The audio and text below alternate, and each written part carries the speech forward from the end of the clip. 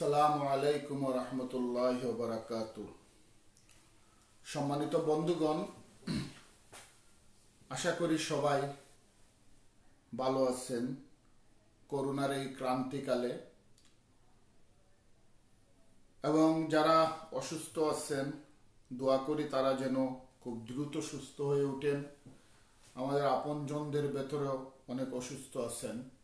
আপনারাও দোয়া করবেন, আমরাও দোয়া করব ইনশাল্লাহ আজকে রমজানের ব্রিটেন, আমেরিকা এবং মিডিল ইস্টে সতেরো রমজান। আর আমরা ষোলো রমজান অতিক্রম করেছি। আগামীকালকে আমাদের সতেরো রমজান। সতেরো রমজান ইসলাম গুরুত্বপূর্ণ একটি দিন। ইসলামের ইতিহাসে অত্যন্ত গুরুত্বপূর্ণ দিন। এই দিনে বদরের মাঠে মুসলমানরা এবং এটা ইসলামের প্রথম বিজয়।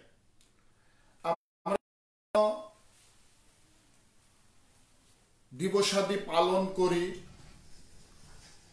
আমরা মুসলিম উম্মার জন্য সতেরো রমজান অত্যন্ত গুরুত্বপূর্ণ এবং একটা আনন্দের দিন। বিজয় দিবস বলা যেতে পারে।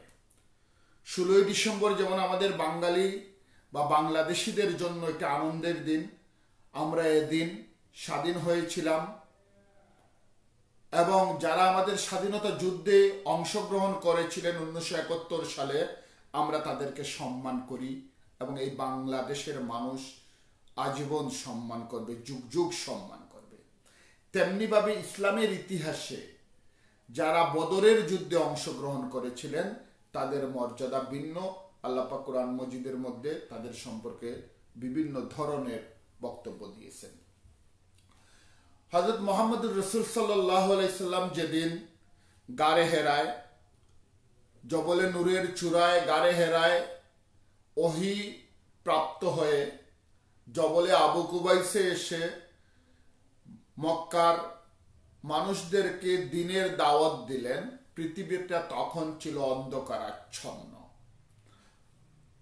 দেখেন, আজকে যেভাবে আমরা গোটা বিশ্ব করোনা দ্বারা আক্রান্ত হয়ে, আতঙ্কিত এবং ঘরের মধ্যে বন্দি হয়ে আছি, প্রতিক্ষণ কিছু মানুষ কিছু মানুষ তো গাফেল ওনারা গেম খেলতেছে, ওনারা বিভিন্ন ধরনের ফাংশন ঘরের ভেতরে করতেছে, ওনারা ভাবতেছে না আগামী শতাব্দী কেমন হবে? করোনার ক্রান্তিকাল পরে এই পৃথিবীর অবস্থা, অর্থনৈতিক, সামাজিক অবস্থা, রাজনৈতিক অবস্থা কেমন হবে? আবার একদল মানুষ প্রতিক্ষণ ভাবতেছে ভাবতেছে এর থেকে কীভাবে উত্তীর্ণ হওয়া যায়? তাদের ঘুম নেই, খাওয়া নেই, বিজ্ঞানীরা অনেক চেষ্টা করতেছেন, আমাদের ডাক্তাররা, নার্সরা অনেক কষ্ট করতেছেন। তেমনি ভাবে যখন পৃথিবী অন্ধকারাচ্ছন্ন ছিল, তখন কিছু মানুষ পৃথিবীকে কীভাবে অন্ধকার থেকে বের করে নিয়ে আসা যায়, সে ব্যাপারে অনেক ভাবনায় ছিলেন। সেই সময়ই হজরত মোহাম্মদ সাল্লাহ আলাইসাল্লামের জন্ম। তিনি যখন মক্কায় বেড়ে উঠেছেন, তার বাবা ছিলেন না, মাও অল্প বয়সে মারা গেছেন, তিনি দাদার কাছে ছিলেন, দাদাও মারা গেলেন, চাচা আবু তালিব ছিলেন একমাত্র গার্জিয়ান তখন তিনি যখন দেখলেন যে মক্কার আশপাশ বিভিন্ন জায়গা, মানুষ বিভিন্ন ধরনের অপকর্মে লিপ্ত, তখন তিনি ভাবনা মধ্যে ডুব দিলেন। এবং সেই ভাবনার একটা একটা নীরব জায়গা প্রয়োজন। জিকির এবং ফিকির, ইসলামে একটা কথা আছে, জিকির এবং ফিকির। ফিকির মানে ভাবনা। জিকির মানে জিকির করা, আমল করা। ইসলামে প্রথমে হচ্ছে ফিকির, এরপরে জিকির। আপনি প্রথমে ফিকির করতে হবে ইন্টেনশন তৈরি করতে হবে। প্রথমে আপনি নিয়ত করতে হবে, ইন্নামা আমাল বিনিয়াত। রসুল করিম সাল্লাম ভাবতে ভাবতে গাড়ে হেরায় বসে প্রচুর ভাবলেন। ভাবতে ভাবতে তিনি শেষ পর্যন্ত সেখানে আল্লাহ পাক তাকে দিক নির্দেশনা দিলেন। কি দিলেন? জিব্রিলে আমিনকে পাঠিয়ে তিনি বললেন, যাও, মানুষদেরকে সত্যের পথে আহ্বান করো। আমরা জানি কোরআন শরীফের একটা নাম হচ্ছে ফুরকান। আল্লাহ পাক কোরআন শরীফের রমজানের পরিচয় দিতে গিয়ে বলেছিলেন, বিসমুল্লাহ রহমান রহিম, শাহরু রমাজান আল্লাযী উনজিলা ফিহিল কুরআন হুদাল লিন-নাসি ওয়া বায়িনাতিন মিনাল হুদা ওয়াল ফুরকান। এই কোরআন শরীফের নাম আল্লাহ পাক ফুরকানের জন্য রেখেছেন, এই কোরআন শরীফ মানুষকে সত্য এবং মিথ্যার মধ্যে ব্যবধান সৃষ্টি করেছে। কোরআন শরীফ কি করেছে? আলো এবং অন্ধকারের মধ্যে দেওয়াল হিসাবে দাঁড়িয়েছে। সেই রসুল করিম সাল্লাহ আলাইসাল্লাম যখন জবলে নূর থেকে নেমে এসে জবলে আবু কুবাইসের চূড়ায় দাঁড়িয়ে ঘোষণা দিলেন লাইল্লাহ তখন হঠাৎ অন্ধকার চমকে উঠল। গভীর অন্ধকারে যখন আকাশে যেভাবে বিজলি মারলে, চমকে উঠে পৃথিবী তেমনি ভাবে হঠাৎ পৃথিবী একটা জাকুনি খেল, ভূমিকম্পের মতো। এই কি বলেন মোহাম্মদ? তখন তারা রসুল সাল্লাহ ইসলামের বিরুদ্ধে যেভাবে উই পোকা গার্ড থেকে বেরুলে, উই পোকা যখন গর্ত থেকে বেরিয়ে আসে, তখন সে কিন্তু আলোর দিকে ঝাঁপিয়ে পড়ে, খুবই ঝাঁপিয়ে পড়ে। কিন্তু সেটা বুঝতেই পারে না যে ওই আলোতে যে তার মৃত্যু নির্ধারিত হয়ে আছে। এইভাবে অন্ধকারাচ্ছন্ন মানুষগুলো মোহাম্মদ সাল্লামের দিকে ঝাঁপিয়ে পড়তে লাগল আঘাত করার জন্য। আর কিছু মানুষ যারা নূর দ্বারা আলোকিত হলেন, তারা রসুল সাল্লাহ আলাইসাল্লামের আনিত ধীন কবুল করলেন। মক্কাবাসী আবু জেহেল আবুল আহাব উতবা সাহেবা মুগিরা, তারা সবাই রসুল সাল্লাহ আলাইস্লামের বিরুদ্ধে নানা ধরনের ষড়যন্ত্র শুরু করল। এরপরে রসুল সাল্লাহ আলাইসাল্লামকে তারা কি করল? বন্দি করল। এই যে আজকে যেভাবে অর্থনৈতিক বয়কট করা হয়, জাতিসংঘের মধ্যে বসে একটা দেশকে চিহ্নিত করেন, তাদের শত্রু দেশ এবং তাদেরকে বয়কট করেন, ইকোনমিক বয়কট করা হয়। তেমনিভাবে মক্কার কাফেররা তারা সিদ্ধান্ত নিল, মোহাম্মদের পরিবারকে তারা বয়কট করল এবং তারা বন্দি করে ফেলল। তারা দীর্ঘদিন বন্দি থাকলেন, এরপরে ওই বন্দিত্ব থেকে আল্লাপাকি তাদেরকে মুক্ত করলেন। তাদের ঘোষণাপত্র যেটা বাইতুল্লার দেওয়ালে ঝুলিয়ে রেখেছিল, সেটা উলুপুকা খেয়ে ফেলছে বা নষ্ট হয়ে গেছে। এরপরে বেশ বেরিয়ে আসলেন রসুল সাল্লা সাল্লামের চাচা হজরত আলী রাজি আল্লাহ তালানোর আব্বা হজরত আবু তালেব। খাজা আবু তালেব অনেক কষ্ট করেছেন রসুল সাল্লাহ সাল্লামের জন্য।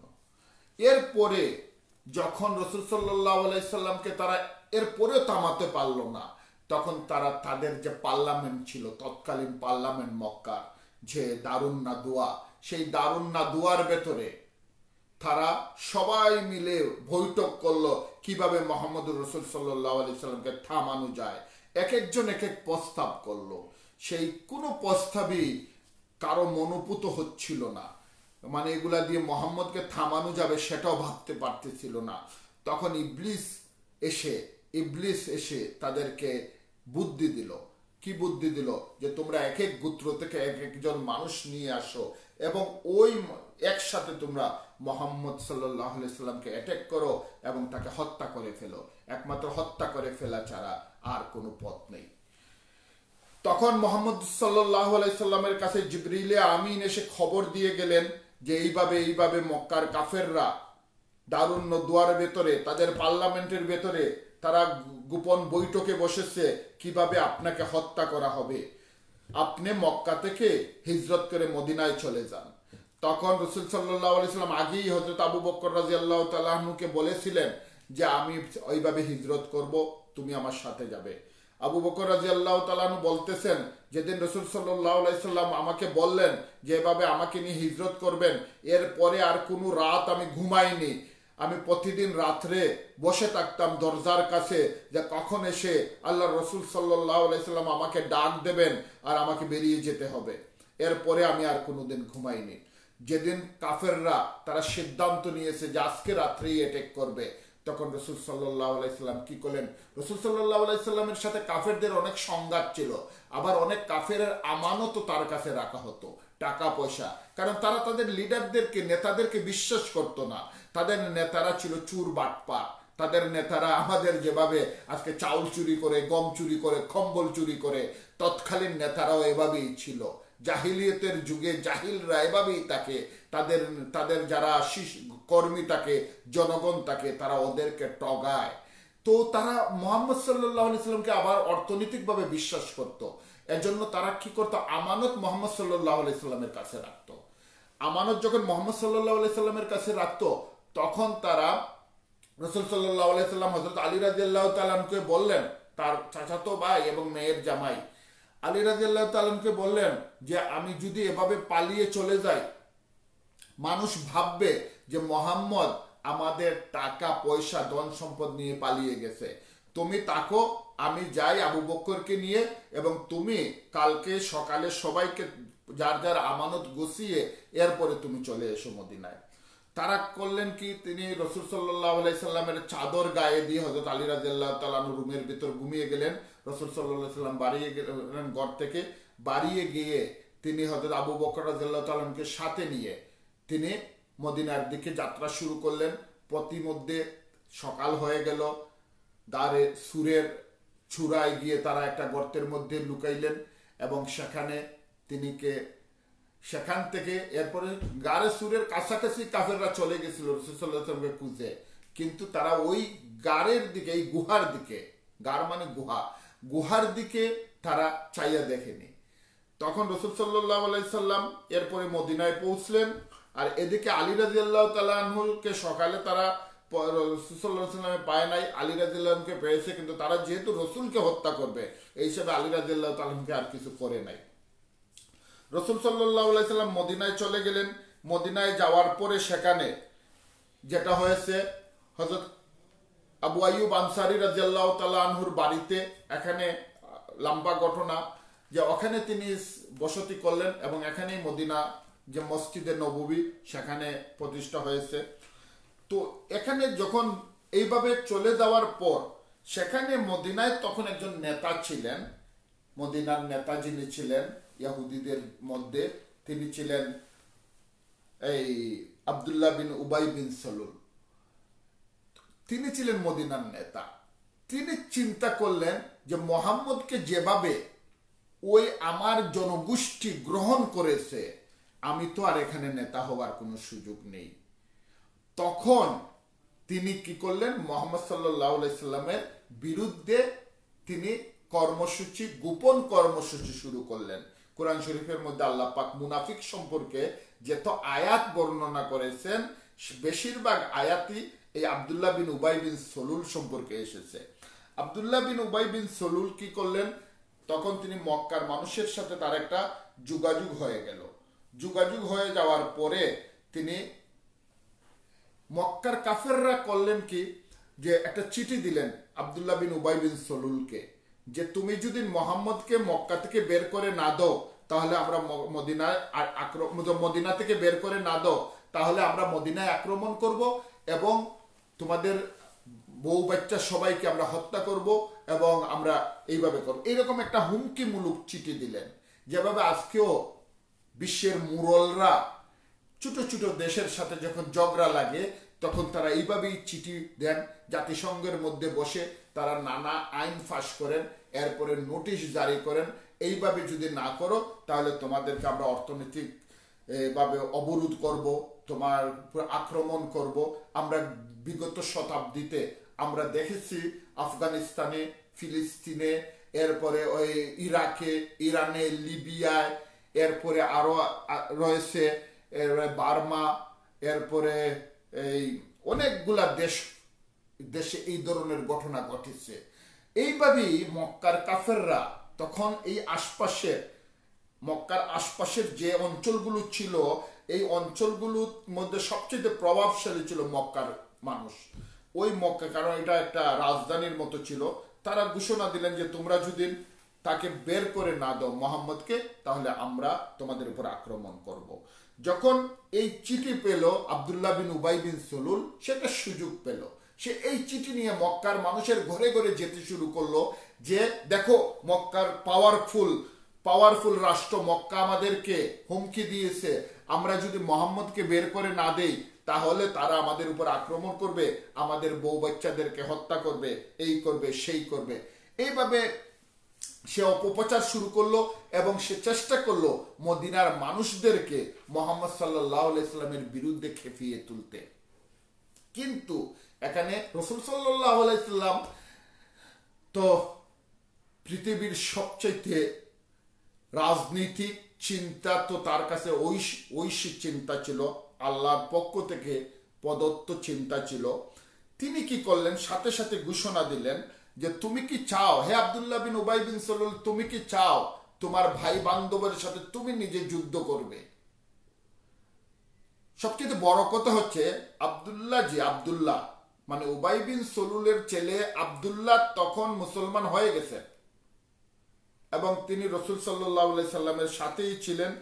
তখন তার ছেলের সাথেই তো তার যুদ্ধ করতে হবে। এটা সে বুঝে ফেলে এবং সে পিছনে সরে যায়।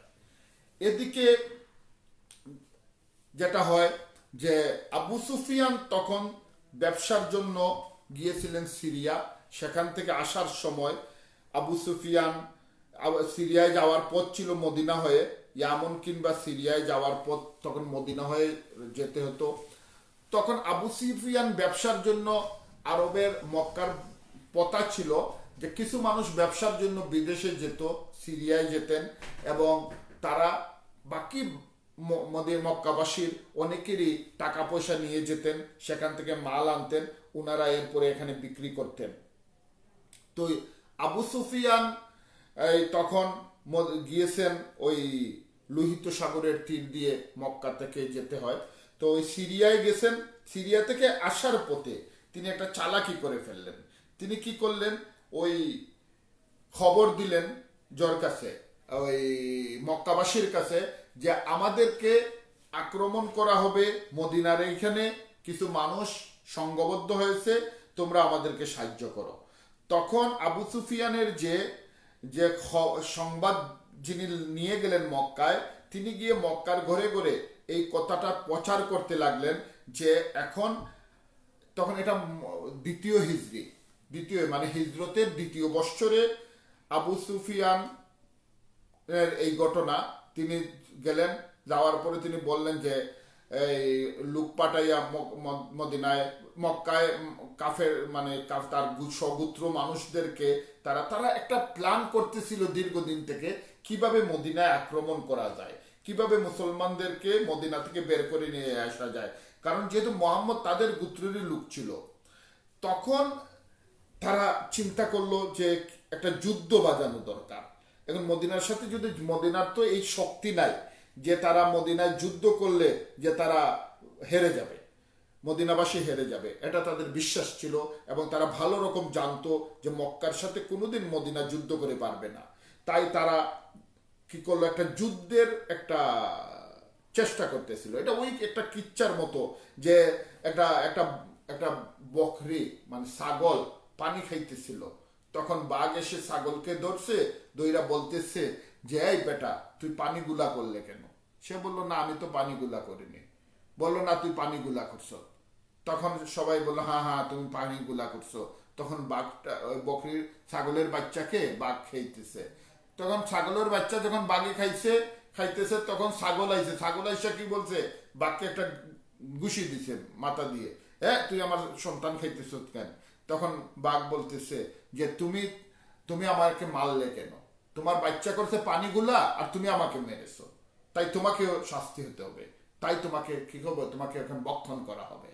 এইভাবে আমাদের যে পাওয়ারগুলা আমাদের যে পরাশক্তিগুলো, আমাদের শক্তিগুলো, আমাদের দুর্বল মানুষদের বিরুদ্ধে যদি ডাইরেক্ট কোনো অ্যাকশন করে, তাহলে তো মানুষ তাদেরকে নিন্দা করবে এবং একসময় হয়তো আদালতে গিয়ে তারা আটকে যাবে। বা কোনো সময় যদি ন্যায় বিচার, নিজের তো একটা বিবেক আছে, ওই বিবেকের কাছে মানুষ আটকে যাবে।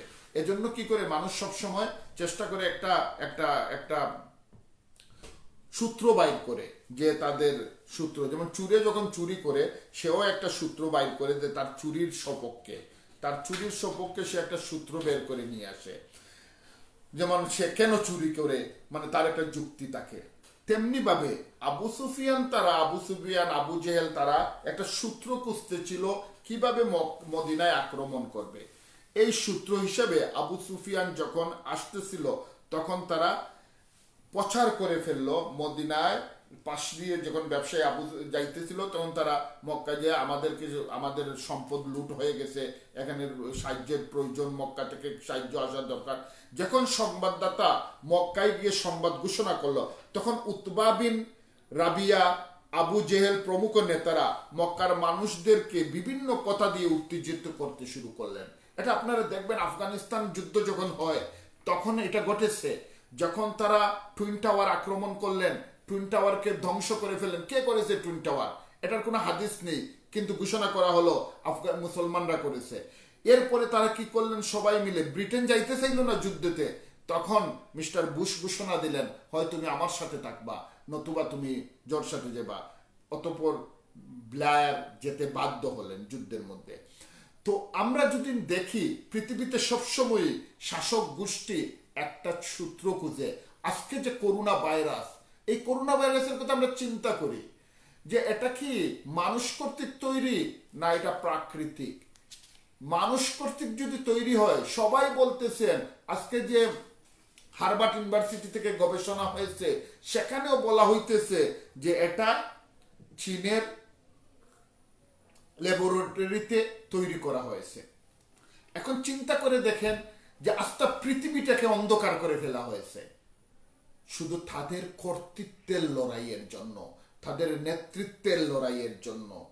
তারা একে অন্যকে, কে কার উপর প্রতাপ বিস্তার করবে, এটার জন্য আস্তা বিশ্বের মানুষকে আতঙ্কের মধ্যে, একটা বিপদের মধ্যে ফেলে দেওয়া হয়েছে। এবং শুধু এখানে শেষ নয়, যদি চীন এটা করে থাকে এবং প্রমাণ করতে পারে বিশ্ববাসী, তাহলে আগামীতে আরেকটা যুদ্ধ হইতেছে চীনের সাথে।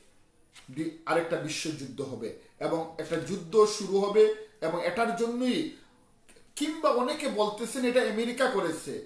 হতে পারে আমেরিকা করেছে, কারণ আমেরিকা আরেকটা যুদ্ধ চাচ্ছে চীনকে দমন করার জন্য। কারণ সে চায় না, কোনো পাওয়ার পাওয়ার চায় না আরেকটা পাওয়ার তার পাশাপাশি দাঁড়িয়ে যায়। এজন্য এই মক্কার কাফেররাও চাইতো না যে একটা পাওয়ার দাঁড়িয়ে যাক। মদিনা, তাই তারা একটা যুদ্ধের সূত্র খুঁজতেছিল আজকে গোটা বিশ্বকে আলোড়িত করে করোনা ভাইরাসের নামে। আমরা কি হচ্ছি? আমরা যদি শেষ পর্যন্ত দেখি, এটা চীন সেরেছে। চীন সারছে কি না সারছে সেটা ভিন্ন কথা। কিন্তু আমাদের যদি বিশ্বাস হয়ে যায়, সাধারণ মানুষের যদি বিশ্বাস হয়ে যায়, দুনিয়াবাসীর যদি বিশ্বাস হয়ে যায়, এটা চীন সেরেছে। তাহলে আগামীতে যখন চীনের উপর আক্রমণ হবে, তখন আমরা কি করব? আমরা সাপোর্ট করব, সমর্থন করব, মানবিক কারণে সমর্থন করব। যেভাবে আমরা আফগানিস্তানের যুদ্ধের সময় আমরা সাপোর্ট করেছিলাম যে টেরোরিস্ট যেভাবে আমরা বলেছিলাম যে কিছু মানুষ, কিন্তু শেষ পর্যন্ত সেই আফগানিস্তানের তালেবানদের সাথে আমেরিকা চুক্তিবদ্ধ হয়েছে এবং তারা বলতেছে যে তালেবানরা টেরোরিস্ট না জঙ্গি না। কি আশ্চর্য? হাজার হাজার মানুষ দুনিয়াব্যাপী মেরে, হাজার হাজার মানুষকে দুনিয়াব্যাপী আতঙ্কিত করে, অসংখ্য মানুষকে দুনিয়ার বিভিন্ন জায়গায় জেল নির্যাতন করে হ্যাঁ? এরপরে আপনি আপোষ করে ফেললেন। গরিব মানুষ মরে গেল হ্যাঁ? অনেক গরিব নানা ধরনের মামলা, মকদ্দমা এই দেশের মতো, বাংলাদেশের মতো জায়গায় শত শত মাদ্রাসা, হাজার হাজার মাদ্রাসারা ছাত্র, শিক্ষকরা ওই ঘটনাগুলোর কারণে কি হয়েছে? গোয়েন্দার নজরদারিতে এসেছে, নানা ধরনের নির্যাতনের শিকার হয়েছে এবং শুধু শুধু প্যাকেজ দিয়েছে প্যাকেজ প্যাকেজ আসে এগুলায়। ওই প্যাকেজগুলা খেয়ে আমাদের গভর্নমেন্টগুলো আমাদের সাধারণ মানুষকে অনেক সময় নির্যাতিত করে। এবং বেহুদা, কোনো সূত্র নাই, কোনো কারণ নাই, কোনো লেজ নাই এভাবে কাজ চলে। তেমনিভাবে Utba bin Rabia, Abu Jahl প্রমুখ নেতারা মক্কার মধ্যে উত্তেজনা তৈরি করল। অবশেষে তারা মক্কা থেকে দিকে তারা কি করল? অবশেষে মক্কা থেকে উতবা বিন রাবিয়ার মতো যোদ্ধার নেতৃত্বে মোহাম্মদ সাল্লাহ সাল্লাম এবং তাদের সাথীদেরকে সাহিস্তা করতে হাজারের তেরোশো, প্রায় তেরোশো তেরোশো যোদ্ধা যোদ্ধা তারা কি করল? মদিনার দিকে রওনা দিল। তেরোশো যোদ্ধা। এবং তাদের বাহিনী ছিল জাকালু সাজসজ্জায় সজ্জিত। তারা বিভিন্ন কমান্ডারের নেতৃত্বে ছিল বিভক্ত। এক এক গ্রুপে শতাধিক শূন্য ছিল। যুদ্ধে তাদের কম হলেও একশোর মতো কমান্ডার ছিল। সৈন্যদের কাছে উন্নত মানের রসদপত্র এবং বাহনও ছিল। যেভাবে আমেরিকার সাথে ছিল, যখন যৌথ বাহিনী আক্রমণ করেছিল আফগানিস্তানে, যখন তারা ইরাকে আক্রমণ করেছে, তেমনিভাবে তাদের অসংখ্য কমান্ডার ছিল, অসংখ্য রসদ ছিল, অসংখ্য অনেক কিছুই ছিল। তেমনিভাবে মক্কার কাফেরদেরও সেদিন ছিল। মক্কা থেকে বেরিয়ে কুরেশরা বদরের কাছাকাছি পৌঁছে জানতে পারে আবু সুফিয়ানের নেতৃত্বাধীন মক্কার ব্যবসায়ী দল মুসলমানদের কর্তৃক মোটেও আক্রান্ত হয়নি। যেভাবে টুইন টায়ারকে আক্রমণ করেছে, এখনও কেউ বলতে পারে না। কিন্তু মধ্যখানে অসংখ্য যুদ্ধ হয়ে গেছে, ওই হাজার হাজার মানুষ মরে গেছে। হাজার হাজার মানুষ সাফারার হয়েছে। কিন্তু তেমনি ভাবে, কিন্তু এখন দেখা যায় যে না, এগুলো সব ফালতু। তেমনি ভাবে, মক্কার কাফেররা যখন তারা মক্কা থেকে বেরিয়ে গেল যুদ্ধের নিতে অর্ধপথে গিয়ে জানতে পারল, আসলে আবু সুফিয়ানকে কোনো আক্রমণ করা হয়নি। ওরা সম্পূর্ণ নিরাপদে রয়েছে। তখন কুরাইশ বাহিনীর সদস্য জাহরা এবং আদি গোত্রের নেতারা বললেন, এখন আমাদের যুদ্ধের প্রয়োজন নেই। এই দুই গোত্র বললেন যে আমরা যুদ্ধেতে যাব না। এবং তারা মক্কায় ফিরে আসলেন। তাদের নেতৃত্বে তিনশো তিনশো মক্কার মানুষ কি করল? তারা চলে আসলেন। কিন্তু বাকি আবু জেহেলের মাথার মধ্যে এক ধরনের যুদ্ধের দামামা ছিল, পাগল ছিল, উম্মাদ ছিল যুদ্ধে যাওয়ার জন্য। এবং সে যুদ্ধে যুদ্ধে সে কি করল? সে কাউকে আসতে দিল না। অনেকে আসতে চাইলেন। অনেকে আসতে চাইলেন কিন্তু সে তাদেরকে আসতে দিল না। এদিকে মক্কায় যখন, মদিনায় যখন রসুল সাল্লাহ সাল্লামের কাছে সংবাদ পৌঁছলো যে মক্কার কাফেররা অত্যন্ত সাজসজ্জার সাথে অতি রসদ নিয়ে মদিনার দিকে আক্রমণ করার জন্য চেষ্টা করতেছে এবং এগিয়ে আসতেছে, তখন রসুল সাল্লাহ একটা মিটিং ডাকলেন। তিনি তো নতুনভাবে ভাবিত হলেন। প্রথম অনেক জুলুম নির্যাতন সহ্য করেছেন, অনেক নির্যাতন সহ্য করে শেষ পর্যন্ত মক্কা ছেড়ে পালিয়ে তিনি মদিনায় এসেছেন। কিন্তু তারপরে যখন পিছু ছাড়তেছে না, তখন রসুল সাল্লাম একটা মিটিং ডাকলেন। মিটিং এর মধ্যে তিনি মহাজির এবং আনসার সাহাবিদেরকে ডাকলেন, সবাইকে ডেকে জিজ্ঞেস করলেন যে, এই পরিস্থিতি এখন আমরা কি করব। তখন সাহাবাই কেরামের মধ্য থেকে তারা বললেন, কেউ দুইটা, রসুল সাল্লাহ সাল্লাম দুইটা দিক দেখাইলেন। দেখালেন, দেখো আবু সুফিয়ান অসংখ্য অসংখ্য মালসাবানা সম্পদ নিয়ে এখানে দাঁড়িয়ে আছে। আর এদিকে এদিকে মক্কার কাফেররা, তোমরা কোনটা চাও? তোমরা কি চাও আবু সুফিয়ানকে লুণ্ঠন করে মাল সম্পদ পেয়ে যাবে, না তোমরা চাও এই মক্কার কাফেরদের মোকাবেলা করবে? তখন একদল তারা যারা ছিলেন, তারা বললেন যে, আমরা আবু সুফিয়ানের কাছ থেকে মাল সম্পদ যদি নিয়ে নেই, তাহলে তো ভালো হয়, আর আমরা যুদ্ধে এড়িয়ে গেলাম। কিন্তু আরেক দল বললেন যে, এইভাবে কথা কাটাকাটি কিছুটা আলোচনা হলো। আলোচনার পরে রসুল সাল্লাম তারা শেষ পর্যন্ত বললেন বললেন যে, রসুল সাল্লাহ সাল্লাম যে কথা বলবেন সেটাই শেষ ফয়সালা। আমাদের কোনো ফয়সালা নেই। তখন মহাজিদের মহাজিরদের মধ্য থেকে হজরত মিকদাদ বিন আমর রাজিয়াল্লাহ তালানু দাঁড়িয়ে বললেন, হে আল্লাহর রসুল, প্রভু আপনাকে যেদিকে যেতে বলেছেন সেদিকে চলুন। আমরা আপনার সঙ্গে আছি। আমরা অবশ্যই বন ইসরায়েলদের মতো চাই না আপনাকে বলব না যে আপনি যান, আমরা যাব না। তখন রসুল সাল্লাহ সাল্লাম আনসারদেরকে প্রশ্ন করলেন। তখন আনসারদের মধ্য থেকে হজরত সাদ বিন মাআজ রাজিয়াল্লাহ তালানু দাঁড়িয়ে বললেন, হে আল্লাহ রসুল, আপনার প্রতি ইমান এনেছি। আপনাকে সত্য বলে মেনে নিয়েছি। আপনি যা কিছু নিয়ে এসেছেন তা সবই সত্য বলে সাক্ষ্য দিয়েছি। সর্বোপরি আমরা আপনার আনুগত্যের শপথ নিয়েছি। এতএব হে রাসুল সাল্লাহ সাল্লাম, আপনি যা সিদ্ধান্ত নিয়েছেন তাই কার্যকর করুন। হে মহান রব, আপনাকে সত্য সহ পাঠিয়েছেন। তার কসম, আপনি যদি আমাদেরকে নিয়ে সমুদ্রে জাপ দেন তবু আমরা আপনার সাথে থাকব। আমাদের একটি লুকও পিছু যাবে না। আমরা যে শপথ নিয়েছি যুদ্ধকালে, তা অক্ষরে অক্ষরে পালন করব। প্রকৃত আত্মস্বর্গীর মতো আমরা শত্রুর মোকাবেলা করে যাব। আল্লাহ খুব দ্রুত আমাদের মাধ্যমে আপনাকে এমন কিছু দেখাবেন যা দেখে আপনার চোখ শীতল হয়ে যাবে। এত আল্লাহর রহমত ও বরকতের উপর ভরসা করে আপনি আমাদেরকে নিয়ে গিয়ে চলুন। মহাজির এবং আনসার উভয় পক্ষের পরামর্শ নিয়ে নবী করিম সাল্লাম অত্যন্ত কঠিন সিদ্ধান্ত নিলেন যে মক্কার সশস্ত্র সৈন্যদের মোকাবেলা করা হবে। এক হাজার সশস্ত্র শূন্যের মোকাবেলায় মাত্র তিনশো তেরো জন সাহাবি সাথী নিয়ে রসুল সাল্লাম দ্বিতীয় হিজড়ির বারো রমজানে মদিনা থেকে আল্লাহর উপর ভরসা করে দক্ষিণ পশ্চিম কোণের দিকে এগিয়ে যেতে লাগলেন যে দিক থেকে মক্কার কাফেররা আসতেছিল। প্রায় আশি মাইল পর অতিক্রম করলে, করে ষোলো রমজান তারা বদর প্রান্তরে পৌঁছলেন। এবং সেখানে মাত্র অস্ত্র তেমন ছিল না মুসলমানদের কাছে, গুড়া মাত্র দুটি ছিল, উট ছিল সত্তরটি, এবং অর্থনৈতিকভাবে তারা খুবই দুর্বল ছিলেন। মুসলমানদের একমাত্র ভরসা ছিল আল্লাহ। ষোলো রমজানে মুসলমানরা বদর প্রান্তরে পৌঁছেন। সেদিকে কুরাইশরাও বদরের এক প্রান্তে অবস্থান নিয়েছে। কুরাইশরা বদরের বদরের উন্নত দিক তাবু করে। কুরেশরা কি করে? তারা বদরে যেখানে তারা প্রথমে চলে আসি, এসেছিল এখানে। তারা উন্নত জায়গায়, তারা তাবু গেড়ে, আর মুসলমানরা আসলে কিছুটা অসুবিধাজনক জায়গায়, যেদিকে বৃষ্টি আসলে পানি জমে যায়, এই ধরনের জায়গায় মুসলমানদের অবস্থান হয়। তারা যখন এই রকম অবস্থান যায়, তো আল্লাহ রসুল সাল্লাহ আলাইসাল্লাম তখন আল্লাহর কাছে দোয়া করলেন। দোয়া করার পরে বৃষ্টি হলো। বৃষ্টি হওয়ার পরে মুসলমান যেদিকে দাঁড়িয়েছিলেন ওদিকের মাটি শক্ত হয়ে গেল এবং এখানে কিছু পানি জমে গেল যাতে মুসলমানরা অজু গুসল করতে পারেন। আর অন্যদিকে মক্কার কাফেররা যেদিকে দাঁড়িয়েছিলেন, সেদিকের মাটি একটু কাদা হয়ে গেল এবং সেখানে দাঁড়ানো যাচ্ছিল না। তখন তারা ভাবিত হলো যে কি বিষয়।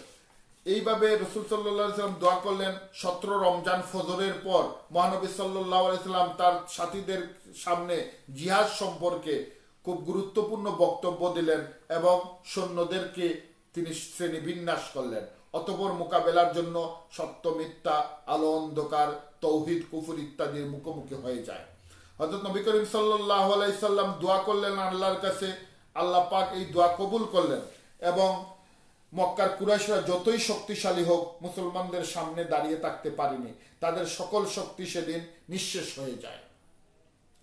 কুরাইশদের বড় বড় নেতা সাহেবা উতবা আবু জেহেল জামা আস, উমাইয়া প্রমুখ সহ সত্তর জন বদরে মারা যায়।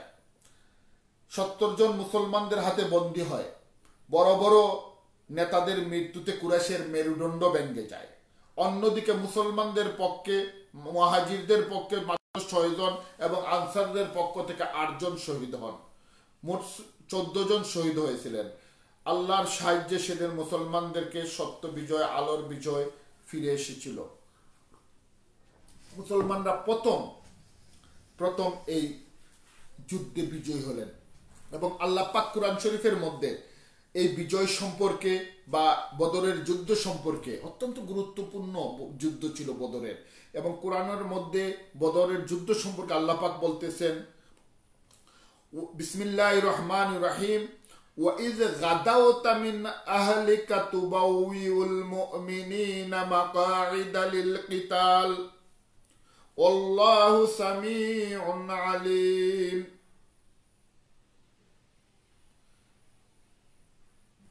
আর আপনি যখন সকালবেলা পরিবার থেকে বেরিয়ে বেরিয়ে গিয়ে বিশ্বাসীদেরকে যুদ্ধার্থে যথাস্থানে সংস্থাপিত করলেন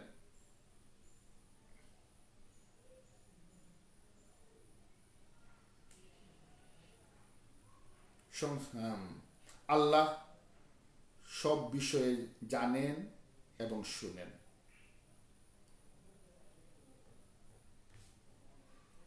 إذ همت طائفتان منكم أن تفشلا والله وليهما وعلى الله فليتوكل المؤمنين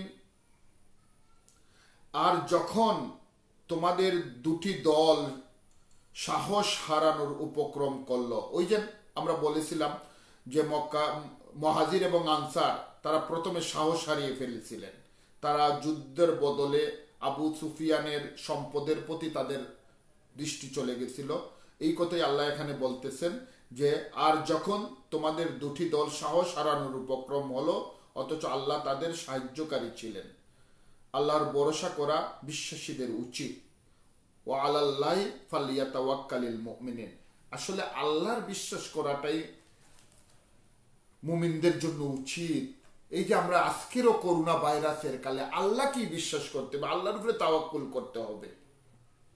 আল্লাহর উপরে তওয়াক্কুল ছাড়া কোনো পথ নেই। এরপরে আল্লাহ বলতেছেন, ওয়ালাকাদ নাসারাকুমুল্লাহু বিবাদরিন ওয়া আনতুম আযিল্লাহ, ফাত্তাকুল্লাহ লাআল্লাকুম তাশকুরুন। আর নিশ্চয়ই আল্লাহ বদর যুদ্ধে তোমাদেরকে সাহায্য করেছেন। যখন তোমরা দুর্বল ছিলে কাজেই আল্লাহর উপর নির্ভরশীল হও। যাতে তোমরা কৃতজ্ঞ হতে পারো। ওয়াইজ তাকুলু লিল মুমিনিনা আলাই ইয়াকফিয়াকুম আন ইউমিদ্দাকুম রাব্বুকুম বিসালাসাতি আলাফিম মিনাল মালাইকাতি মুনজালিন। আর নিশ্চয় আল্লাহ বদর যুদ্ধে তোমাদেরকে সাহায্য করেছেন, তোমরা দুর্বল ছিলে। যখন বিশ্বাসীদেরকে বলেছিলেন, বলেছিলে, তা কি তোমাদের পক্ষে যথেষ্ট নেই যে তোমাদের প্রতিপালক তিন হাজার ফেরেস্তা প্রেরণ করে তোমাদেরকে সাহায্য করবেন? আল্লাহ পাক বদরের যুদ্ধে এখানে বলতেছেন যে তিন হাজার ফেরেস্তা পাঠিয়ে মুসলমানদেরকে সাহায্য করেছেন। যারা বদরের যুদ্ধে অংশ নিয়েছেন, তারা বলেছেন যে আমরা যুদ্ধের মাঠে দেখেছি অসংখ্য সাদা পাগড়িওয়ালা, সাদা মানুষ যাদেরকে আমরা চিনি না, এরা অনেকেই সেই যুদ্ধে অংশগ্রহণ করেছেন এবং আমরা তাদেরকে চিনতাম না। এরা মূলত ফেরেস্তা ছিলেন ফেরেস্তা ছিলেন। আল্লাহ তিন হাজার ফেরেস্তা এই কোরআন শরীফ এখানে বলতেছেন। এরপরে বলতেছেন, বালা ইন তাসবিরু ওয়া তাত্তাকু ওয়া ইয়াতুকুম মিন ফাওরিহিম। হাযা ইউমদিদকুম রাব্বুকুম বিখামসাতি আলাফিম মিনাল মালাইকাতি মুসাউমিন বরং যদি তোমরা ধৈর্য ধারণ করো এবং সংযমী হও, এবং তারা যদি স্বেচ্ছায় তোমাদের উপর প্রতীত হয়, তবে তোমাদের প্রতিপালক পাঁচ সহস্র বিশিষ্ট ফেরেস্তা দিয়ে তোমাদেরকে সাহায্য করবেন। আল্লাহ বলতেছেন যে আমি তিনশো ফেরেস্তা দিয়ে তোমাদেরকে সাহায্য করেছি। কিন্তু তারা যদি এর চাইতে বেশি শক্তি প্রদর্শন করত, আল্লাহ পাক পাঁচশো ফেরিস্তা দিয়ে সাহায্য করতেন। কোরআন শরীফের মধ্যে আল্লাহ পাক সুরায় আল ইমরানের একশো একুশ এবং একশো পঁচিশ নম্বর আয়াতে বদর যুদ্ধের ঘটনা বর্ণনা করেছেন। দেখেন, অত্যন্ত গুরুত্বপূর্ণ যুদ্ধ ছিল এটা। কোরআন শরীফে আল্লাহ যে যুদ্ধের ঘটনা বর্ণনা করতেছেন, এটা ছোট মোটো কথা না। কোরআনে আল্লাহর কালামের ভেতরে আল্লাহ এই যুদ্ধের কথা বলেছেন। এরপরে আল্লাহ আরও বলতেছেন, আল্লাহ পাক সুরায় আনফালের মধ্যে বলতেছেন বিসমিল্লাহ রহমান রাহিম, কামা আখরাজা রাব্বুকা মিন বাইতিকা বিল হক মিনাল মুমিনিনা লাকারিহুন। কি বলতেছেন আল্লাহ পাক? যেরূপ তোমার প্রতিপালক তোমাকে তোমার ঘর থেকে বদরের দিকে যথাযথভাবে বের করলেন আর মুসলমানদের একটি দল একে অপছন্দ করেছিল। মানে বদরের দিকে আল্লাপাক কি করলেন? বের করে নিয়ে আসলেন ঘর থেকে। এবং মুসলমানদের মধ্যে একটা দল ছিল যারা এটাকে পছন্দ করতেছিল না। যুদ্ধ আমাদের মধ্যে এখন এভাবে আছে। যে আমরা অনেকেই এগুলা পছন্দ করি না, যুদ্ধ, বিদ্রোহ, এগুলা যাতে হয় না। হ্যাঁ মুসলমানরা যাতে, মুসলমানদের উপর আক্রমণ হচ্ছে, ফিলিস্তিন, কাশ্মীর, বিভিন্ন দেশে। কিন্তু আমরা এগুলাকে এটা আল্লাপাক কোরআন শরীফে অনেক আগেই বলেছেন।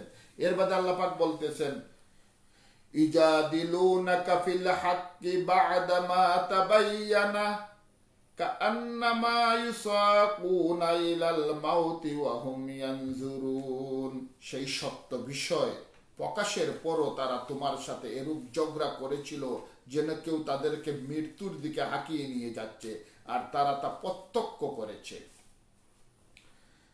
এরপরে আল্লাহ পাক আরো বলতেছেন وإذ يعدكم الله إحدى الطائفتين أنها لكم وتودون أن غير ذات الشوقة تكون تكون لكم ويريد الله أن يحق الحق بكلماته ويقطع دابر الكافرين আর তোমরা সেই সময়ের কথা স্মরণ করো যখন আল্লাহ তোমাদেরকে সেই দুটি দলের মধ্য থেকে একটি সম্ব- সম্বন্ধে প্রতিশ্রুতি দিচ্ছিলেন যে এটা তোমাদের অধীনস্থ হবে। আর তোমরা এই অভিপ্রায়ে ছিলে যেন নিরস্ত দলটি তোমাদের আয়ত্তে এসে পড়ে। আর আল্লাহর ইচ্ছে ছিল এই যে তিনি স্বীয় নিদর্শনাবলী দ্বারা সত্যকে সত্যরূপে প্রতিপন্ন করে দেন এবং সেই কাফিরদের মূলকে কর্তন করে দেন। বদরের যুদ্ধ আসলে ফুরকানের প্রথম প্রকাশ ফুরকান যে সত্য এবং মিথ্যার মধ্যে ব্যবধান সৃষ্টি করে এটার প্রথম প্রকাশ ছিল বদরের যুদ্ধে এবং আল্লাহর এটা ইচ্ছা ছিল যে তিনি সত্যকে সত্যরূপে প্রতিষ্ঠা করবেন এবং মিথ্যাকে কি করবেন মিথ্যাকে তিনি পরাজিত করবেন এরপরে আল্লাহ পাক বলতেছেন ويبطل الباطل ولو كره المجرمون যেন সত্যকে সত্যরূপে এবং অসত্যকে অসত্য রূপে প্রমাণিত করে দেন, যদিও এটা অপরাধীরা পছন্দ করে না। এটা অপরাধী যারা, তারা পছন্দ করে না, অপছন্দ করে এই ধরনের কাজ। তারা চায় না কোনোদিন সত্য প্রকাশিত হোক, সত্য প্রতিষ্ঠিত হোক, তারা কোনোদিন চায় না।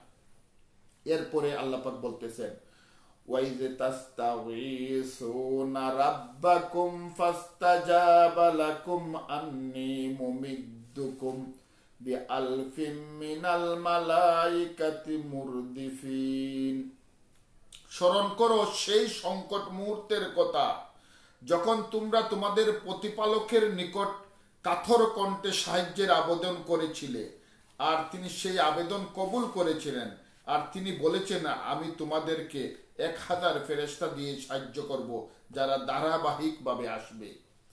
আল্লাহ তিনশো ফেরেস্তা দিয়েছিলেন, কিন্তু আল্লাহ বলেছিলেন, যদি প্রয়োজন হয় এক হাজার ফেরিস্তা পাঠিয়ে দেবেন।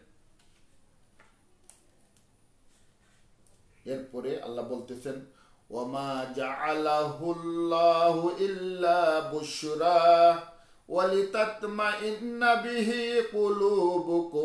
ওমান নাসরু ইল্লা মিন ইনদিল্লাহ ইন্নাল্লাহ আজিজুন হাকীম আল্লাহ, এটা শুধু তোমাদের সুসংবাদ দেওয়ার জন্যে এবং এর দ্বারা তোমাদের মনে প্রশান্তি আনয়নের জন্য করেছেন।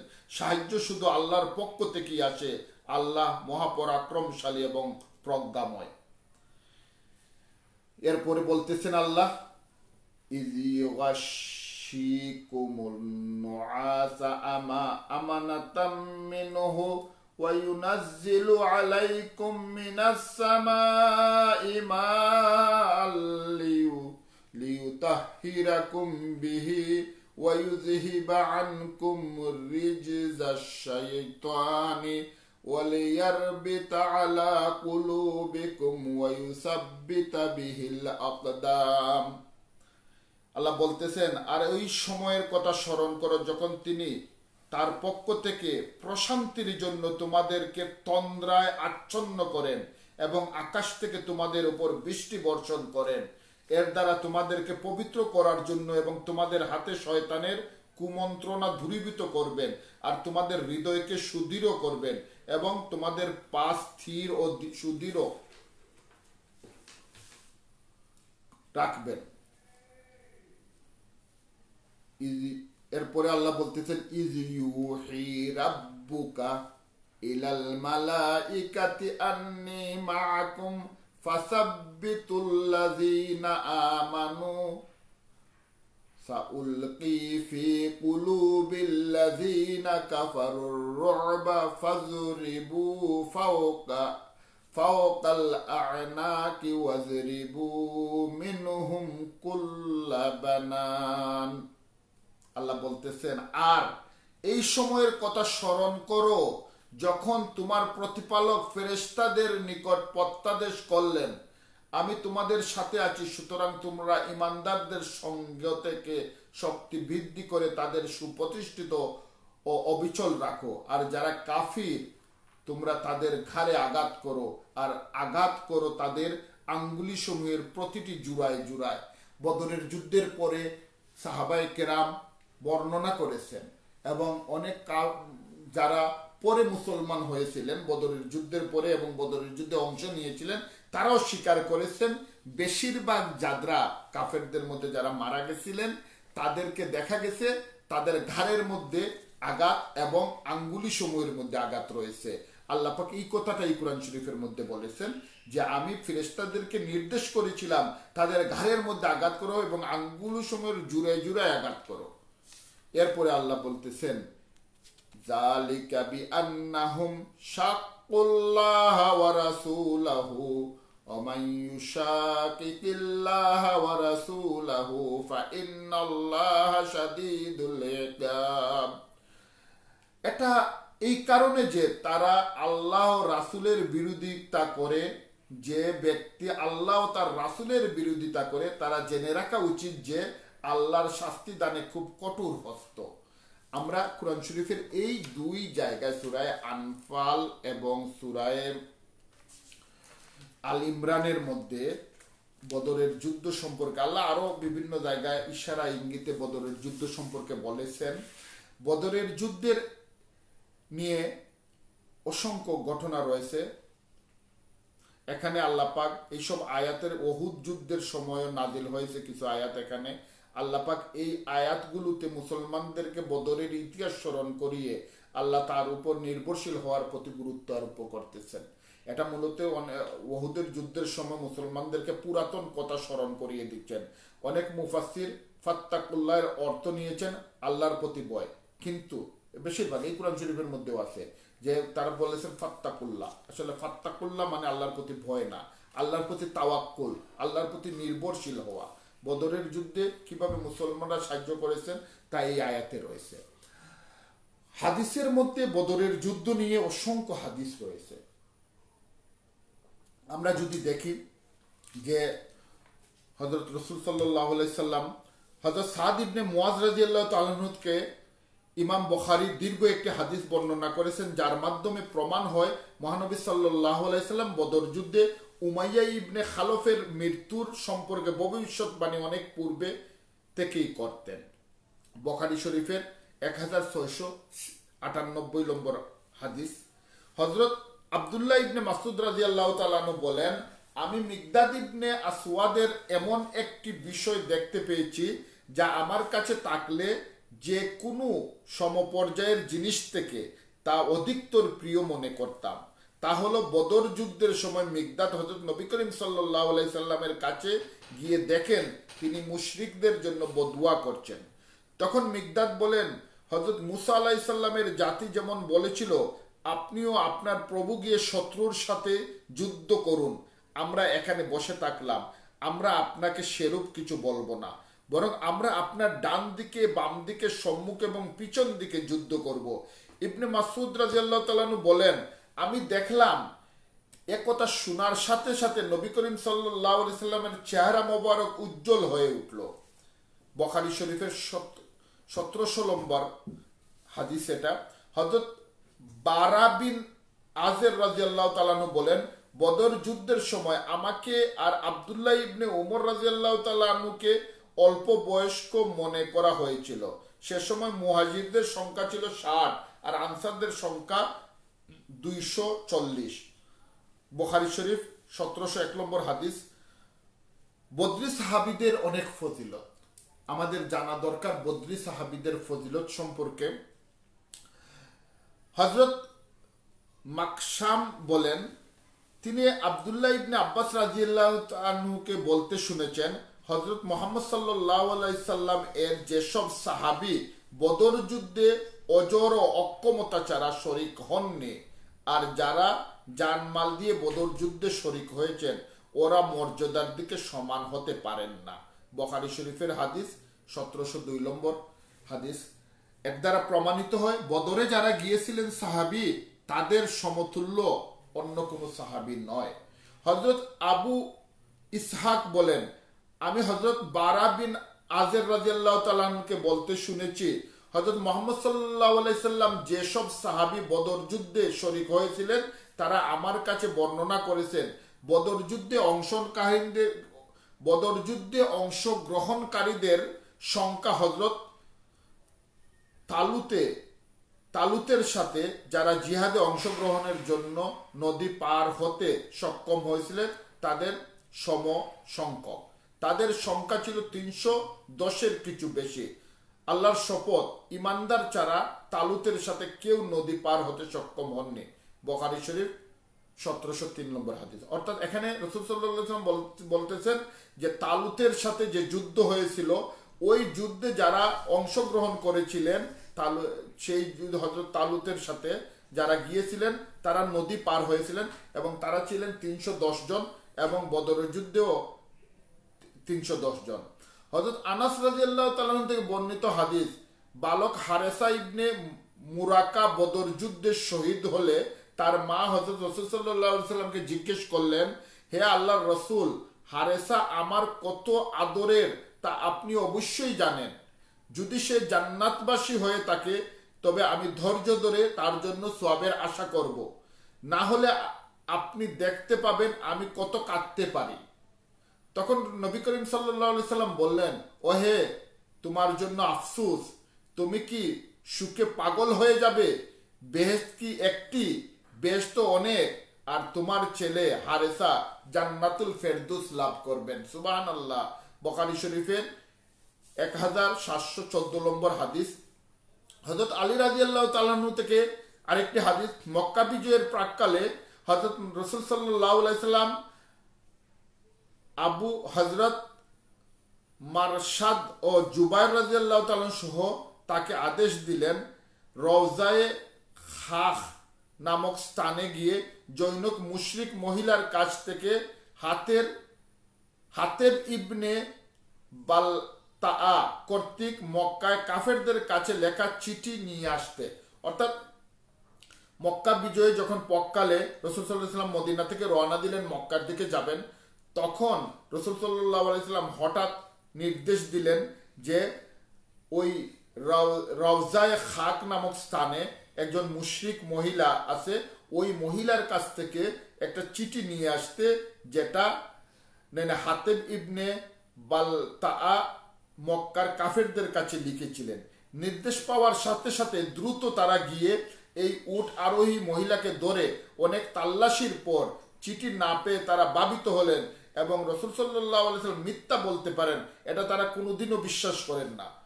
অবশ্যই এই মহিলার কাছে চিঠি আছে, এটা তাদের বিশ্বাস ছিল। তারা কি করলেন?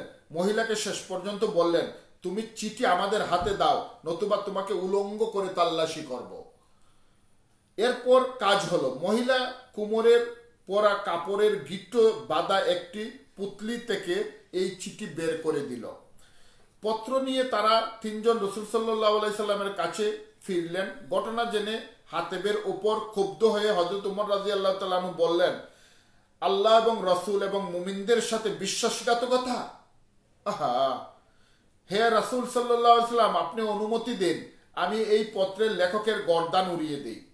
রসুল সাল্লাম তখন এই পত্রের লেখক হাতেবকে ডেকে প্রশ্ন করলেন, হাতেব, তুমি এমন কাজ করলে কেন?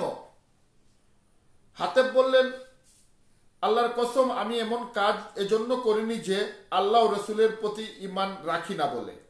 এমন কাজ আমার উদ্দেশ্য ছিল মক্কাবাসীর এহসান করা, যাতে আল্লাহর মেহরবানিতে তাদের অনিষ্ট থেকে আমার ধন সম্পদ এবং পরিবার পরিজন রক্ষা পায়।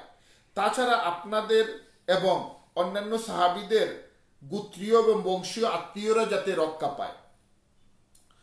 সম্পদের রক্ষার জন্যই হাতে একটা করেছিলেন। হজরত হাতেব ইবনে বালতা রাজিয়াল্লাহ তালানহুর এর বক্তব্য শুনে নবী করিম সাল্লাহ সাল্লাম বললেন, হাতেব ঠিকই বলেছে, তোমরা তার বিষয়ে উত্তম কথা ছাড়া আর কিছু বলবে না। হজরত উমর রাজিয়াল্লাহ তালাহু বললেন, হে আল্লাহ রসুল সাল্লাহ সাল্লাম এবং মুমিনদের সাথে বিশ্বাসঘাতকতা করেছে, তাই অনুমতি দিন, আমি তার গরদান উড়িয়ে দিই। রসুল সাল্লাহ আলাইসাল্লাম উমরকে বললেন সে কি বদরের যুদ্ধে অংশগ্রহণ করেনি? অতপর বললেন, আল্লাহ বদরের অংশগ্রহণকারী সম্পর্কে বলেছেন, তোমরা যেমন ইচ্ছে করো, যেমন ইচ্ছে করো, জান্নাত তোমরা জান্নাতি যাবে। জান্নাত তোমরা জান্নাতেই যাবে। যখন উমর রাজিয়াল্লাহ কাঁদতে শুরু করলেন এবং বলেন আল্লাহ তার রাসুল সবচেয়ে বেশি জ্ঞানী। দেখেন, বদরের যুদ্ধে যে তিনশো তেরো জন সাহাবি অংশগ্রহণ করেছিলেন আল্লাহ পাক তাদেরকে পারমানেন্টলি মাফ করে দিয়েছিলেন। অর্থাৎ তারা এরপরে পৃথিবীতে যতদিন বেঁচে থাকবেন, যে কাজই করুন না কেন, সব কাজ তাদের মাফ তারা গুণা করলেও আল্লাহ পাক তাদেরকে মাফ করে দিয়েছেন। তাদের এত ফজিলত আল্লাহ দান করেছেন। হজরত কায়েস রাজি আল্লাহ তালন বলেন, বদর যুদ্ধে অংশগ্রহণকারী সাহাবিদের নির্ধারিত বার্ষিক বাতা ছিল পাঁচ হাজার দিরহাম।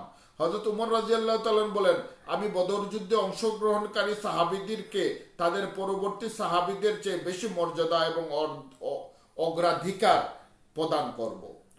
এটা হাদিস সতেরোশো পঁচাত্তর নম্বর হাদিস বহারি শরীফের, এবং এগুলো সহি হাদিস। হজরত নবী করিম সাল্লামের হাদিস বর্ণনাকারীদের মধ্যে সবচেয়ে বিশ্বস্ত বলে সবাই গ্রহণ করেছেন বদর যুদ্ধে অংশগ্রহণকারীদেরকে বদর যুদ্ধে যারা অংশগ্রহণ করেছেন, তাদেরকেই সবচেয়ে বিশ্বস্ত বলে বিশ্বাস করেছেন। সাহাবাই কেরামের যুগে কোথাও কোনো সমস্যা হলে সর্বপ্রথম সমাধানের জন্য গুরুত্ব দেওয়া হতো বদর যুদ্ধে অংশগ্রহণকারীদেরকে। বিভিন্ন দিক থেকে ইসলামের ইতিহাসে অত্যন্ত গুরুত্বপূর্ণ একটি বিষয় বদর যুদ্ধ বর্তমান বিশ্বে যেমন তেল, গ্যাস, স্বর্ণ খুবই গুরুত্বপূর্ণ যুদ্ধের মূল কারণ, তেমনি সেই সময় আরবে পানি এই গুরুত্ব বহন করত। আজকে যেভাবে তেল এবং গ্যাস এগুলো নিয়ে যুদ্ধ হয়, তৎকালীন সময় পানি নিয়ে যুদ্ধ হতো। ঐতিহাসিকরা লিখেছেন, বদর নামক স্থানে পানি বেশি তাকায় তা সবার কাছে অত্যধিক গুরুত্বপূর্ণ স্থান ছিল। অনেকে লিখেছেন, বদর মূলত একটা কূপের নাম, যা বদর বিন কুরাইশ কর্তৃক তৈরি করা হয়েছিল। মোট কথা, সেই সময়ে বদর নামক স্থানে প্রাণীর পানির ব্যবস্থা ছিল। আরবের মানুষ তখন পানি কেন্দ্রিক জনবসতি করত আমরা জানি আরবের ইতিহাস, আরবের ইতিহাসে হজরত ইসমাইল আলাইসাল্লাম এবং হাজেরার ইতিহাস। হাজেরাকে যখন হজরত ইব্রাহিম আলাইসাল্লাম রেখে গেলেন, শিশু ইসমাইল সহ, তখন পানির অভাবে তিনি দৌড়তে ছিলেন। সেই দৌড়া থেকেই আমরা হজের মৌসুমে যে সাত চক্কর দেই এবং জমজম কূপের জন্ম হয়েছিল। আরও এবং এই জমজম কূপকে কেন্দ্র করে মক্কা নগরী গড়ে উঠেছিল পরবর্তীতে। তাই বদরও ছিল সেই সময় গুরুত্বপূর্ণ একটি স্থান। সেই স্থানে সংগঠিত যুদ্ধকে সেই সময়ের জন্য অত্যন্ত গুরুত্বপূর্ণ বলতে হবে। লোকসংখ্যা, ক্ষয়ক্ষতির পরিমাণ ইত্যাদির দিকে দৃষ্টিপাত করলে মনে হতে পারে বদর যুদ্ধ একটি আঞ্চলিক যুদ্ধ বা সংঘাত। কিন্তু ইতিহাসের বিভিন্ন দিকে দৃষ্টিপাত করলে স্বীকার করতে হবে বদর যুদ্ধ নিচক কোনো যুদ্ধ নয়। তা ছিল পৃথিবীর ইতিহাসে ইসলাম ও মুসলমানদের জন্য অত্যন্ত গুরুত্বপূর্ণ একটি দিন। এই দিন সর্বপ্রথম হজরত মোহাম্মদ সাল্লাহ আলাইসাল্লামের নেতৃত্বে মুসলমানরা জীবন মরণ শপথে সশস্ত্র শত্রুর মুখোমুখি হন একেবারে সামান্য আয়োজনে। কিন্তু বিজয়ী হয়েছেন। যদি সেদিন বিজয় না হতো, তবে আজ পৃথিবীতে কালেমার আওয়াজ দেওয়ার মতো কেউ থাকত না। কারণ মুসলমান সবাই তো যুদ্ধতে চলে এসেছিলেন। তাই ওই দিনকে কোরআনের মধ্যে ইয়াউমুল ফুরকান বলা হয়েছে। বদরের দিবস যেটা তেরো তারিখ, তেরো তারিখকে কোরআন মজিদ ইয়াউমুল ফুরকান বলেছে। অর্থাৎ সত্য এবং মিথ্যার মধ্যে ব্যবধান সৃষ্টিকারী। কোরআনের এক নাম ফুরকান, আর বদর যুদ্ধেরকে আবার ইয়াউমুল ফুরকান বলা হয়েছে। মানে ফুরকানের দিন। ইয়াউমুল মানে ফুরকানের দিন। ফুরকান এসেছে ফেরাকুন শব্দ থেকে, যার অর্থ এক থেকে অন্যকে পৃথক করা। কোরআনের অপর নাম ফুরকান। আমরা ইতিমধ্যে বলেছি, বদের যুদ্ধ বদর যুদ্ধের দিনকে এজন্যই ইয়ামুল ফুরকান বলা হয়েছে, যেহেতু ওই দিন সর্বপ্রথম মোহাম্মদ সাল্লাহ আলাইসাল্লাম তার সাহাবিদেরকে নিয়ে মুশরিকদের মুখোমুখি যুদ্ধে দাঁড়িয়েছেন। তাই আমরা ইয়ামুল ফুরকান অর্থ করতে পারি আলো, অন্ধকারের সংঘর্ষের দিন। বদর যুদ্ধে অসংখ্য সাহাবি জন অংশগ্রহণ করেছিলেন, আমরা জানি। আমরা বদর যুদ্ধের সাহাবিদের নাম হয়তো এখানে বললে দীর্ঘ সময় চলে যাবে। বদর যুদ্ধে মুসলমানদের মধ্যে যে চোদ্দ জন সাহাবি শহীদ হয়েছিলেন, শুধু তাদের নাম আমরা এখানে বলব। যে মুহাজির সাহাবি ছিলেন হজরত উবায়দা ইবনে হারিস রাজিয়াল্লাহ তালানহু হজরত উমায়ের ইবনে আবু আক্কাস রাজিয়াল্লাহ তালানহু হজরত জুস সীমালাইন রাজিয়াল্লাহ তালানহু হজরত আকিল ইবনে বুকাইল রাজি আল্লাহ তালানহু হজরত মাহজা ইবনে সালেহ রাজিয়াল্লাহ তালানহু হজরত সাফওয়ান ইবনে বায়দা রাজি আল্লাহ তালানহু এবং আনসারদের মধ্যে ছিলেন শহীদ হজরত সাদ ইবনে খায়সামা রাজি আল্লাহ তালানহু হজরত মুবাশ্বর ইবনে আব্দুল মুনজির রাজি আল্লাহ তালানহু হজরত উমায়ের ইবনে হুমাম রাজিয়াল্লাহ তালানহু হজরত ইয়াজিদ ইবনে হারিস রাজিয়াল্লাহ তালানহু হজরত রাফি ইবনে মোয়াল্লা রাজিয়াল্লাহ তালানহু হজরত হারিসা ইবনে সুরাকা রাজিয়াল্লাহ তালানহু হজরত আউফ ইবনে হারিস রাজি আল্লাহ তালানু হজরত মুআইজ, মুআবিজ ইবনে হারিস রাজি আল্লাহ তালানু এবং মহান আল্লাহ পাক বদরি সাহাবিদের মতো আমাদের ইমান সাহস, ধৈর্য দান করুন। আমরা চিন্তা করে দেখি যে বদরের যুদ্ধ মুসলমানদের ইতিহাসে অত্যন্ত গুরুত্বপূর্ণ একটা দিন। আমরা প্রতি বছর বদরের এই দিনে আমাদের জামিয়া সিদ্দিকিয়া মাদ্রাসায় আমরা একটা দোয়া মাহফিল করি প্রতি বছর। কিন্তু এইবার এই করোনার সমস্যার কারণে যেহেতু পাবলিক গ্যাদারিং নিষিদ্ধ, এজন্য আমরা করতে পারিনি। আমরা মূলত এই বদরি সাহাবিদের কথা স্মরণ করে এবং এদিন ইসলামের বিজয় হয়েছিল, সেই কথা মনে করি আমরা প্রতি বছর একটা দোয়া মাহফিলের আয়োজন করে থাকি। এবার পারিনি, আমরা যারা যেখানে আছি, কালকে বা আজকে যারা রোজা আছেন, সতেরো তারিখ যাদের আজকে সতেরো রমজান, এবং আগামীকালকে আমাদের সতেরো রমজান হবে। আমরা দোয়া করি। বদ্রি সাহাবিদের নাম ধরে দোয়া করলে আল্লাহ দোয়া কবুল করেন এবং তাদের এত ফজিলত, আল্লাহ পাক এত ফজাইল দিয়েছেন তাদেরকে যে এটা বর্ণনা করে শেষ করা যাবে না। হজরত আয়সা রাজিয়াল্লাহ তালা আনহু হজরত আয়সা রাজিয়াল্লাহ তালা আনহুর উপর যারা তোহমত এনেছিলেন, তোহমত। এটা কোরআন শরীফে বর্ণিত ঘটনা। তহমত এনেছিলেন, তখন এই তহমতকারীদের মধ্যে হজরত আয়সা রাজিয়াল্লাহ তালাহুর ফুফুতো ভাই একজন ছিলেন। ফুফুতো ভাই চাচাতো ভাই, যাকে হজরত আবু বকর, তিনি এতিম ছিলেন, তাকে আবু বকর রাজিয়াল্লাহ তালাহু লালন পালন করেছিলেন। তো তিনিও ছিলেন এখানে। এগুলা তো মিসআন্ডারস্ট্যান্ডিং হয়েছে। তিনিও ছিলেন। যখন এই ঘটনার আল্লাহ পাক কোরআন শরীফে পরিষ্কারভাবে বর্ণনা করে দিলেন বর্ণনা করে দেওয়ার পরে অনেক মানুষই ওই ব্যক্তিকে নিন্দা করতেন নিন্দা করতেন। আবু বকর রাজি আল্লাহ খুব গুসা করলেন এবং তিনি বললেন উনিকে আর সাহায্য করবেন না। কিন্তু আল্লাহ পাক সাথে সাথে কোরআন শরীফে আয়াত নাজিল করে ফেলেছেন যে, তোমরা তাদের কৃতকর্মের জন্য তাদের দিক থেকে মুখ ফিরিয়ে নিও না। তোমরা যাকে সাহায্য করতে, তাকে সাহায্য করতে থাকো। আর হজরত আয়সা রাজিয়াল্লাহ তালানু প্রায় সময় বলতেন যে, তোমরা তাকে নিন্দা করো না। এর কারণ কি? কারণ ওই ব্যক্তি বদরের যুদ্ধে অংশগ্রহণ করেছিলেন। আল্লাহ রসুল সাল্লাহ সাল্লাম নিষেধ করেছেন যে বদরের যুদ্ধে যেসব সাহাবে অংশগ্রহণ করেছেন, তাদের ফজিলত আল্লাহ পাকের কাছে ভিন্ন এবং তাদেরকে আল্লাহ মাফ করে দিয়েছেন এবং তাদের তাদের সব গুণা মাফ। এজন্য বদর একটা গুরুত্বপূর্ণ বিষয় ছিল ইসলামের ইতিহাসে। আল্লাহ পাক আমাদেরকে বদরের যুদ্ধের যে চেতনা ছিল সাহবাই কেরামের ভেতরে, যে তাওয়াক্কুল ছিল, সেই চেতনা এবং তাওয়াক্কুল আমাদের অন্তরে জাগ্রত করে দিন। আমরা দোয়া করি এবং মুসলমানদের আগামী যেত বদর আসবে, যেত বদর আসবে, প্রত্যেক বদরে যেন আল্লাহ পাক তার ফেরেস্তাদেরকে দিয়ে আমাদেরকে সাহায্য করেন, আমাদের ইমানের দরজা বৃদ্ধি করে দেন এবং আমাদেরকে তাওয়াক্কাল তো আল্লাহর উপর নির্ভর করে দিতে পারেন। আমরা দোয়া করি আল্লাহ পাকের কাছে আল্লাহ পাক তুমি দুনিয়ার মুসলমানদেরকে সাহায্য করো হ্যাঁ। আল্লাহ মনসুর ইসলাম আওয়াল মুসলিমিন, আল্লাহ মনসুর ইসলাম আওয়াল মুসলিমিন, আল্লাহ মনসুর ইসলাম আওয়াল মুসলিমিন। হে আল্লাহ, তুমি মুসলমানদেরকে সাহায্য করো এবং বিভিন্ন দেশে মুসলমানরা নির্যাতিত হচ্ছে ফিলিস্তিনে। আহারে, কত সব একশো বছরের উপর চলে যাচ্ছে ফিলিস্তিনে। আজকে কাশ্মীর কাশ্মীর সেই সতেরোশো উনিশশো সাতচল্লিশ থেকে উনিশশো সাতচল্লিশ থেকে কাশ্মীরের মানুষ যুদ্ধ করতেছে তাদের স্বাধীনতার জন্য, তাদের মুক্তির জন্য। আজকে লিবিয়ার মানুষ, ফিলিস্তিনের মানুষ, সিরিয়ার মানুষ, বিভিন্ন ইরাকের মানুষ, মুসলমানরা নির্যাতিত, ইয়ামনের মুসলমানরা নির্যাতিত, আল্লাহ পাক সবাইকে মুক্তি দান করুক। আমরা সবার জন্য দোয়া করি এবং দোয়া করি, আল্লাহ তুমি প্রত্যেক মুসলমানকে সাহায্য করো।